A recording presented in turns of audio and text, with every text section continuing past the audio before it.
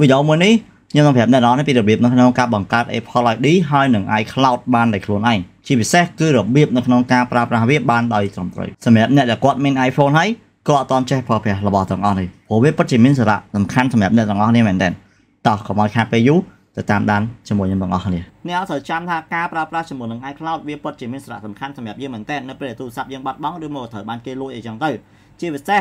យើងទុកតាមបានជាមួយនឹងប្តីប្រពន្ធរបស់យើងប្តីមានស្រីប្តីចូលការ៉ាអូខេប្តីទៅណាទៅណីអញ្ចឹងគឺយើងអាចធ្វើការតាមដាននៅក្នុង iCloud នឹងបានដោយមិនអាចធ្វើការ cheat បានទេ iCloud វាមិនវាខុសគ្នាពីប្រភេទ app ដូចជា Zenly ឬអីយើងអាចចុចបិទឬមកយើងអាចធ្វើវាកៀងបានប៉ុន្តែសម្រាប់ iCloud គឺมันអាចកៀងបានទេលុះត្រាតែជាម្ចាស់ផ្ទាល់បានអាចបិទបានបើយើងមិនមែនជាម្ចាស់ផ្ទាល់គឺយើងមិនអាចបិទបានទេយេ ធ្វើបែបនេះគឺវាល្អសម្រាប់យើងធ្វើការ defend ទៅកាន់សង្សាររបស់យើងឬមួយក៏ប្តីប្រពន្ធយើងអញ្ចឹងទៅវា fair ទាំងអស់គ្នាដែរអូខេអញ្ចឹងខ្ញុំមកកណ្ដាច់ Wi-Fi ហើយយើងគ្រាន់តែចូលទៅកាន់ setting យើងមើលនៅខាងលើហ្នឹងចុចលើវា sign in ចុចខាងក្រោមបន្តយកខាងលើគេរងចាំមានមួយផ្លែតវាកំពុងតែដំណើរការចេញមកកន្លែងនេះគេឲ្យដាក់ថ្ងៃខែឆ្នាំកំណើតយើងអញ្ចឹងអ្នកបងប្អូនក៏ដាក់ថ្ងៃខែឆ្នាំកំណើតមកអឺខែយ៉ា ថ្ងៃខែថ្ងៃអញ្ចឹងមកយើងចុចពាក្យថានិចកន្លែងនេះគេឲ្យដាក់ first name និង last name ឈ្មោះពិតរបស់បងប្អូនណាតែខ្ញុំសុំដាក់អឺអឺយេខ្ញុំចង់ដាក់អីក៏បានខ្ញុំដាក់អូមកហើយឥឡូវឈ្មោះទៅខាងលើតកូលខាងក្រោមគឺជាឈ្មោះរបស់យើងយើងវាយមកបន្តយើងចុចពាក្យ next អឺកន្លែងនេះគេឲ្យយើងរើសពីរជំរើសយើងចង់ប្រើ email address របស់យើងមួយទៀតក៏បាន យើងចង់ប្រើ free email ពី iCloud ក៏បានដែរអញ្ចឹងបើយើងអត់មាន email ទេអ្នកអត់យកទី2បើអ្នកអត់មាន email អ្នកអត់យកទី1អញ្ចឹងខ្ញុំគិតថាយកទី2ព្រោះអត់ចាំបាច់ពិបាកទៅ connect មើល email ផ្សេងទៀតហើយយើងចង់បាន email នេះយើងវាយមកឧទាហរណ៍ថាឥឡូវខ្ញុំដាក់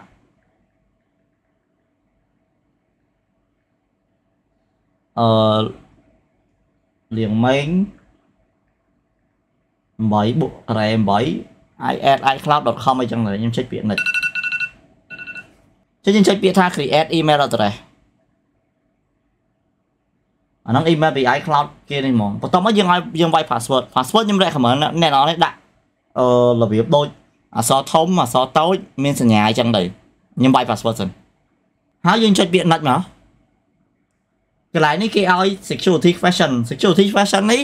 អ្នកត្រូវចងចាំទុកពេលដែលយើងអាច recovery iCloud មកវិញបានពេលដែលយើង set up យើងត្រូវទៅចាំវាយើងរើសំណួរបាទគេសួរយើងយើងគិតថាសំណួរមួយណាគេសួរ what was uh the name of your first pet តើឈ្មោះអដំបងគេឈ្មោះដែលសัตว์ចិញ្ចឹមរបស់យើងដំបងគេយើងដាក់ឈ្មោះវាថាម៉េចដូចរបស់ខ្ញុំខ្ញុំខ្ញុំចិញ្ចឹមឆ្មាខ្ញុំដាក់ឈ្មោះវាថា Siri អីចឹងទៅព្រោះវាជាសัตว์ដំបងដែលខ្ញុំចិញ្ចឹមចឹងណាអញ្ចឹងយើងត្រូវរងចាំអាពាក្យសម្ងាត់ទាំងអស់ហ្នឹងដើម្បី recovery អា email iCloud ត្រឡប់មកវិញបានយល់មិនទេចុចពាក្យណាច់មកសំណួរទី2គេសួរយើងឲ្យ dream job យើងអីគេខ្ញុំដាក់ dream job ខ្ញុំគឺ IT អញ្ចឹងមកណាច់មកយ៉ាតាមពិតអ្នកអមើលវីដេអូអ្នកអអាច recovery យក email ខ្ញុំបានតែ email ខ្ញុំបោះចោលចង់យកធ្វើអីធ្វើទៅអឺនេះជាសំណួររបស់យើងគេសួរថា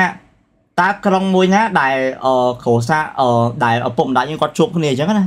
ខ្ញុំដាក់មកភ្នំពេញមកអ្នកអគាត់សំណួរណាស្រួលអ្នកអអ្នកអដាក់ហ្នឹងឲ្យស្រួលចាំតែខ្ញុំវាយភ្នំពេញមកហើយចុចពាក្យណាច់មក3សំណួរបានហើយ3សំណួរយើងអាច recovery email មកវិញបានហើយទុកពេលមានបញ្ហា answer to security question uh, must be at least 3 character long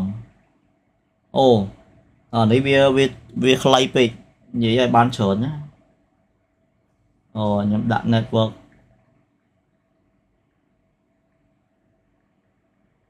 net management អញ្ចឹងទៅ soi nạch yeah បន្តយើងអករីជាមួយនឹង term condition របស់គេពីច្បាប់ណែនាំរបស់គេ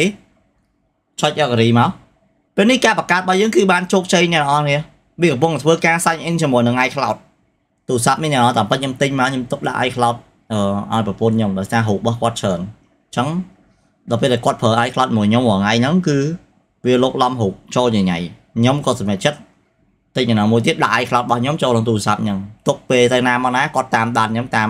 នេះបើដកពីទូរស័ព្ទគាត់ចេញគាត់ប្រើគាត់ថាតទិញអាហ្នឹងឲ្យគាត់មួយទៀតបានអាទូរស័ព្ទគាត់ហ្នឹងដាក់ iCloud របស់គាត់បានឥឡូវនេះគឺយើងបានទាំង Apple ID យើងបានទាំង iCloud ដែរទាំងអស់គ្នាអញ្ចឹងយើងថយមកវិញខ្ញុំនឹងបញ្យល់អ្នកនរគ្នាពេលណាមាន iCloud អ្នកនរត្រូវតែ set up ជាមួយនឹង two factor authentication ដើម្បីអ្វីនៅពេលដែលគេ sign in ចូល email ហ្នឹងគេមាន email មាន password ក៏ដោយគេក៏ត្រូវការអា two factor ហ្នឹងដើម្បីធ្វើការ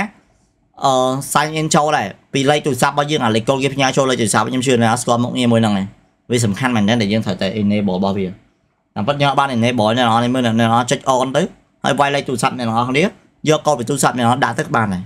តែខ្ញុំបានធ្វើឲ្យមើលដោយសារខ្ញុំអត់មានលេខលេខខ្ញុំដាក់ឲ្យយើងទៅវាយវិញចុចខាងលើនេះខ្ញុំនឹងប្រាប់អ្នកនរពី iCloud ធម្មតាពេលអ្នកនរប្រើ iCloud អ្នកនរយក iCloud ទៅ sign in ចូល device មួយទៀតវានឹងចេញដោយរបៀបចេះខ្ញុំលើកអាទូរស័ព្ទរបស់ខ្ញុំមួយទៀតមកអឺវាយ៉ាងនេះខ្ញុំតម្លាក់ពលឺបន្តិចអឺសារតែវាប្រើ screen អញ្ចឹងมันវាយ៉ាងពលឺវាយ៉ាងដាច់បន្តិចយ៉ាពិបាកយ៉ាងម៉ាក់មើល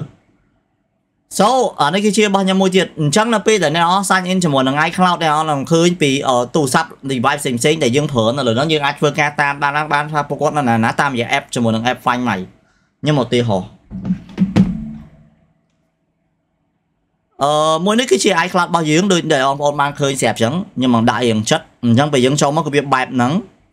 ចុចទៅពាក្យកន្លែង iCloud មករបៀបនៅក្នុងការប្រើប្រាស់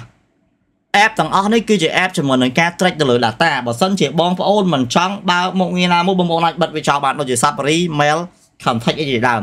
អញ្ចឹងនៅពេលដែលបងប្អូនសាច់ into ទូរស័ព្ទមួយទៀតវានឹងធ្វើការ sync អា contact ក៏ដូចជា email ក៏ដូចជា Safari note របស់បងប្អូនទៅកាន់ទូរស័ព្ទមួយទៀតឲ្យវាឃើញដែរហើយសម្រាប់ keychain នេះ keychain នេះតើយើងបើកដើម្បីអ្វីខ្ញុំកំណត់អឺឧទាហរណ៍អូ keychain បើសិនជាយើងបើកវាទៅ វានឹងធ្វើការ store data យើងដូចជា password credit card ព័ត៌មានផ្សេងដែលអ្នកនរគ្នាវាយនៅលើ device ហ្នឹងដើម្បីជាប់ទៅពេលដែលយើងទៅវាយ device ក្រោយវានឹងជួយ remember យើងលោតអាហ្នឹងឲ្យយើងចុចឲ្យយើង auto តែគិតថាមិនបាច់ដាក់តែហ្នឹងអត់ល្អទេហើយសម្រាប់កន្លែង find my iPhone នេះអ្នកនរនេះអាចបើកវាបានហើយ send ទៅ last location បានបានន័យថាព្យា update ទៅលើវាអានេះទូរស័ព្ទសេរីទៀតអញ្ចឹងវាអត់មានមុខងារមួយទៀតដែលវាផ្ញើតាមរយៈ network ក៏សេរីខ្ពស់ អូយ៉ាចាប់ពី iOS 15ឡើងទៅបានមានតិចខ្ញុំនឹង explain នៅ online app Find My អានោះមកងារសម្រាប់រកទូរស័ព្ទរបស់យើងណាពេលដែលយើងចង់រកយើង sign in ចូល device មួយទៀតហើយយើងវាយតែពាក្យ app Find My មកនេះអញ្ចឹងយើង log in ចូលអាហ្នឹងមកចាំមកខ្ញុំ log in ណា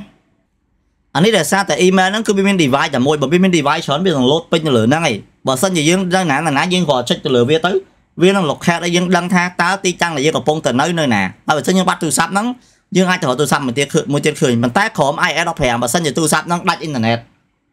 គឺយើងអត់មានសមត្ថភាពនៅក្នុងការរកវាឃើញទេវាអាចដឹងត្រឹមថា location ចុងក្រោយនៃទូរស័ព្ទមួយហ្នឹងវានឹងនៅតំបន់មួយណាអូខេ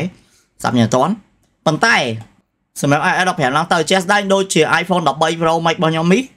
អ្នកឃើញពាក្យកន្លែងមួយដែលមានឈ្មោះថា Find My Network វាមានប៊ូតុង13កន្លែងហ្នឹង កន្លែងហ្នឹងគឺសម្រាប់នៅពេលដែលទូរស័ព្ទហ្នឹងទោះបីដាច់ដាច់អ៊ីនធឺណិតក៏ដោយឲ្យតែវានៅជាប់ជាមួយ device Apple ផ្សេងដែលគាត់មានអ៊ីនធឺណិតឬមកវាឆ្លងកាត់អាទូរស័ព្ទមួយទៀតហ្នឹង iPhone មួយទៀតហ្នឹងគឺវានឹងជួយបញ្ជូនតន្ន័យរបស់ location ទីតាំងរបស់នេះចូលនៅក្នុង iCloud យើងអាចមានសមត្ថភាពរកឃើញបើទោះបីជាទូរស័ព្ទមួយហ្នឹងដាច់អ៊ីនធឺណិតក៏ដោយប៉ុន្តែឲ្យតែនៅចិត្តនៅក្នុង device មួយទៀតដែលមានអ៊ីនធឺណិតដូចតែយើងអបមកថាឥឡូវចោលលុយរបស់យើងអញ្ចឹងវាជីកាត់ តាមផ្លូវយើងវាជាប់ជាមួយ device ផ្សេងៗវានៅតែជួយ update ឲ្យតាក់ទងជាមួយនឹងរូបភាពកន្លែង photo នៅខាងលើនេះវាជួយ store នៅរូបភាពអ្នកនរដែលមាននៅលើ iCloud ហ្នឹងទៅកាន់ device មួយទៀតបានឬមកក៏ពេលដែលយើងបាត់បង់អញ្ចឹងទៅអញ្ចឹងអាខាងប៊ូតុងនេះគឺប៊ូតុងបើកប៊ូតុងខាងលើនេះគឺវាជួយ optimize iPhone storage តរហូតណាដែលយើងបើកមកវា download តែប៊ូតុងមួយនេះវានឹងជួយ download ទាញយករូបភាព ហើយវានឹង keep វាជា original បានឲ្យវាស៊ីធំបន្តិចរូបដែលយើងមានមកនៅក្នុង iCloud វាស៊ីយ៉ាងធំហើយអាកន្លែង iCloud photo sharing នេះវានឹងបង្កើតជា album មួយសម្រាប់ឲ្យអ្នកដែលគាត់ប្រើ iCloud ជាមួយយើងហ្នឹងចែករូបភាពនេះទៅវិញមកយ៉ាអានោះការប្រវត្តិទៅលើរូបភាពហើយតាក់ទងជាមួយនឹង iCloud backup បើសិនជា iCloud យើងធំយើងគួរតែ backup វាទុកដើម្បីអ្វី នៅពេលដែលទូរស័ព្ទអ្នកនរបាត់បង់អ្នកទៅទិញទូរស័ព្ទមួយទៀតបានអ្នកនរនេះអាចធ្វើការ restore ចេញពីអា backup នោះបាននៅឯកសារផ្សេងផ្សេងដែលអ្នកកំពុងតែមានតែស្វែងខ្ញុំ recommend ថាត្រូវតែស្វែងយល់ពីការប្រើប្រាស់ជាមួយនឹងអឺមុខនេះ iCloud ហ្នឹងហើយការបង្កើតទៅលើ iCloud ថ្មីគឺគេ free 5G បើយើងអ្នកធ្វើការយើងអ្នកអីខ្ញុំគិតថាទិញតែ10រៀលទៅអាហ្នឹងបើសិនជាអ្នកនរនេះជាអ្នកធ្វើការអីចឹងណាបើមានសមត្ថភាពគួរតែទិញយា 50G ចឹងទៅយា 50G 50G 1រៀល 50G មួយខែបើ 200G 3រៀលមួយខែបើសិនជា2តេអឺ10រៀលមកខ្ញុំមួយថ្ងៃហ្នឹងគឺខ្ញុំទិញអា2តេព្រោះព្រោះប្រពន្ធខ្ញុំវាលើសវាចង់លើសតេទៅណែខ្ញុំមិនដឹងនិយាយថាម៉េច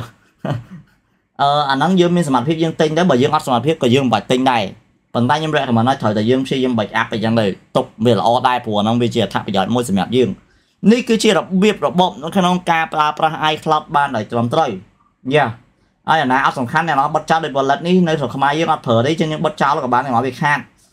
យើងមើលអាណាដែលយើងគិតថាយើងអត់ប្រើយើងបិទចោលទៅយ៉ា turn up reminder អញ្ចឹងណាយ៉ាអត់ប្របាក់ទេអ្នកនរនេះគឺងាយមែនតើនៅក្នុងការបង្កើតជាមួយនឹង iCloud និងការគ្រប់គ្រងទៅលើ Apple ID សម្រាប់អ្នកនរនេះអញ្ចឹងខ្ញុំខំដល់វីដេអូមួយនេះនឹងចែកម្លែកអ្នកនរនេះបានអ្នកនរនេះអាចធ្វើការជួយចុច like share វីដេអូមួយនេះទៅកាន់មិត្តភ័ក្តិអ្នកនរនេះណាគេដែលអត់ទាន់ចេះអី ឬមកក៏អាចខ្លាចជា supporter អញ្ចឹងដើម្បីតាមដានជាមួយនឹង content exclusive ខ្ញុំជាច្រើនអរគុណសម្រាប់ការតាមដានទស្សនាជាមួយនឹងវីដេអូមួយនេះយើងនឹងជួបគ្នានៅក្នុងវីដេអូក្រោយទៀត bye